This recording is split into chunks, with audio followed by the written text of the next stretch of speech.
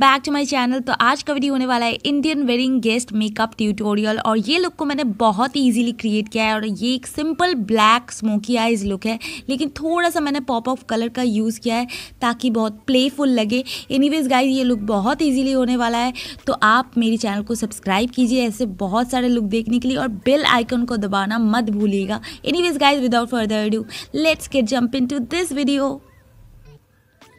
first of all as a makeup primer या फिर makeup base में यूज़ करने वाली दिस वैद्यनाथ एलोवेरा जेल फिर मैं इस एलोवेरा जेल को अपने फेस में बहुत अच्छे से ब्लेंड कर लूँगी और ये प्रोडक्ट बहुत अच्छा है। आपको अगर कहीं भी मिल जाता है do try this product very light weight very useful for summer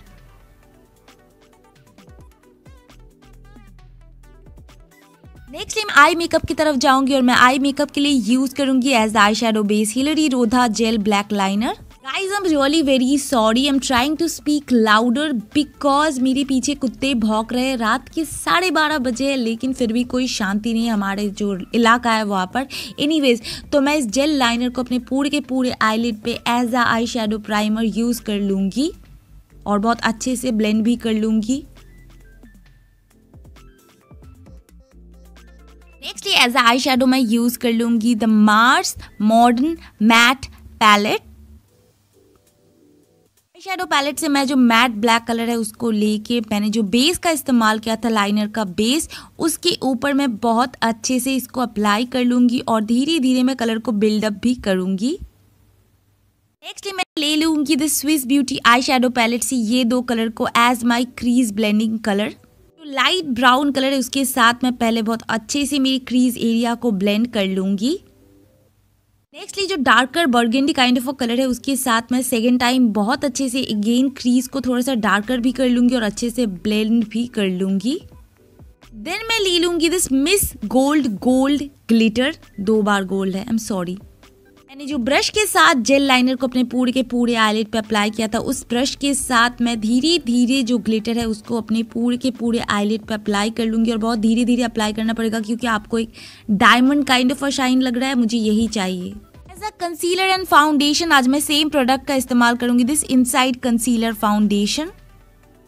का जो शेड है, वो है ज़ीरो थ्री और मैं इसे अपने पूरे के पूरे फेस में अप्लाई कर लूँगी। वन थिंग इज़ दैट कि ये जो फाउंडेशन है, ये लाइट टू मीडियम कवरेज आपको देगा। अगर आप सेकेंड लेयर का इस्तेमाल करोगे तो आपको ये मीडियम कवरेज देगा। लेकिन एज अ कंसीलर आप खुद देख पाओगे इसके बाद, ये as a concealer perfectly apply होता है और परफेक्टली कवरेज भी देता है। ये फाउंडेशन से ज़्यादा अच्छा है अगर आप कंसीलर की तरह यूज़ करोगे।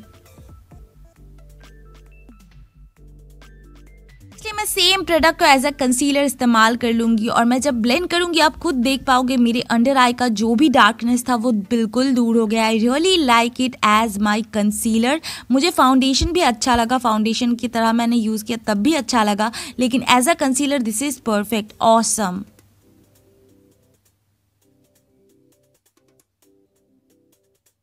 N Y B concealer contour stick in the shade zero six के साथ मैं अपने पूरे फेस को कॉन्टोर कर लूँगी। And I love this product this is very creamy बहुत अच्छे से ब्लेंड हो जाता है। That's why I apply it every day and every time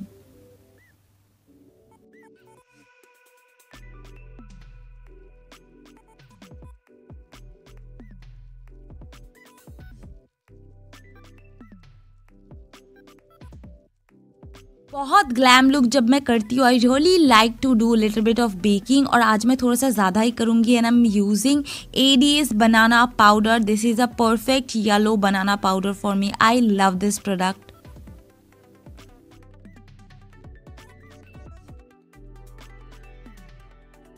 baking मैंने बस टू या फिर थ्री मिनट्स के लिए किया है, उसके बाद मैं वाइप ऑफ़ कर लूँगी वाइप ऑफ़ कर लूँगी एंड मैंने ऑफ़ कैमरा थोड़ा सा आईब्राउ भी कर लिया है।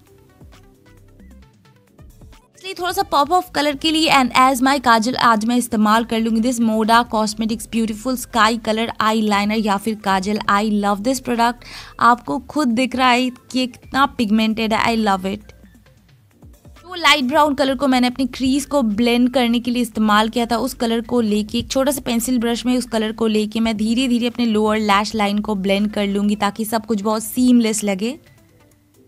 एज अ ब्लश आज मैं इस्तेमाल कर लूँगी this NYX soft matte liquid lipstick in the shade in wrapped sorry unwrapped on my cheeks और ये परफेक्ट ब्लश कलर है मेरे लिए. आई लव दिस प्रोडक्ट अपने आई लैश को थोड़ा सा कर्ल कर लूँगी एंड देन उसके बाद मैं अप्लाई कर लूँगी अगेन ब्लू मस्कारा अगर आप ब्लू मस्कारा अवॉइड करना चाहते हो you can definitely avoid it आप ब्लैक सिंपल मस्कारा भी इस्तेमाल कर सकते हो. लेकिन आज के लुक में मैंने थोड़ा सा पॉपअप कलर का इस्तेमाल किया है ताकि थोड़ा सा फंकी लगे थोड़ा सा अच्छा लगे आप लोगों को थोड़ा सा डिफरेंट कुछ दिखने को मिले तो मैं इस्तेमाल कर रही हूँ blue iconic kajal from Lakme actually highlighter की बारी है और मैं इस्तेमाल कर रही हूँ Swiss beauty baked blush highlighter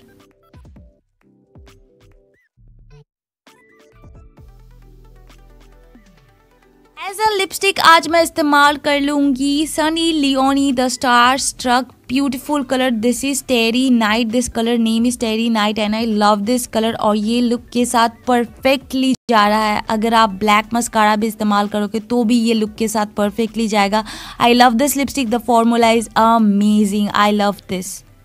middle of the lip में मैं थोड़ा सा इस्तेमाल कर लूँगी ऑर्गेनिस्टिक लाइट ब्राउन कलर लिपस्टिक और ये मेरे लिप्स को फुलर दिखने में मदद करेगा and I really love this process ये आपके लिप्स को इंस्टेंटली लाइक इंजेक्शन वाला या फिर फिलर वाला लिप्स दिखाएगा। So guys that is my finish look I hope you enjoy this video अगर ये वीडियो आपको थोड़ा सा भी पसंद आया तो कम से कम मुझे thirty two thirty five like दे दीजिए प्लीज़ गाइज़ एंड मेरे चैनल को सब्सक्राइब कीजिए। सब्सक्राइब करने के लिए आपको इस वीडियो बार के नीचे एक रेड वाला बटन दिखेगा, उसको दबाना पड़ेगा, उसके पास एक बेल वाला बटन है, उसको दबाना पड़ेगा। प्लीज़ गाइज़ मेरे चैनल को सब्सक्राइब करो, मेरी वीडियोज़ को अपने दोस्तों के साथ शेयर करो, मैं ऐसा सारा और भी वीडियो लाऊँगी। एनीवेज गाइज़ नेक्स्ट टाइम मिलेंगे। बाय गाइज़ बहुत अच्छे से रहना, बहुत खुश रहना। बाय